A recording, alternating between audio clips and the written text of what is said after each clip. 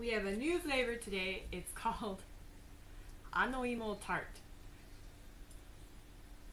This tart, well, it's not really a tart. It's a type of sweet potato.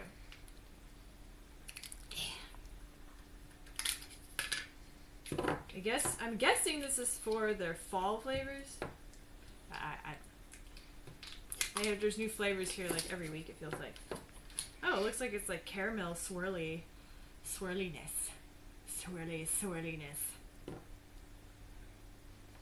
Let's try this swirly.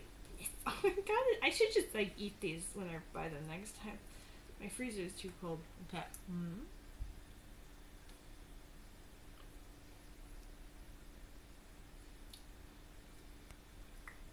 Well, it tastes like sweet potato. A lot, actually. It it just tastes like frozen sweet potato. But there's like this weird aftertaste of like bacon. I'm not sure I like this one. Hold on, let me get another bite. Let's try this again.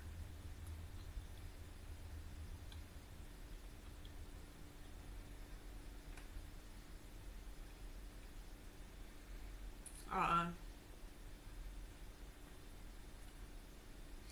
No. Yeah, I'm not finishing this one. Mmm. Oh no, this is this just this is just bad.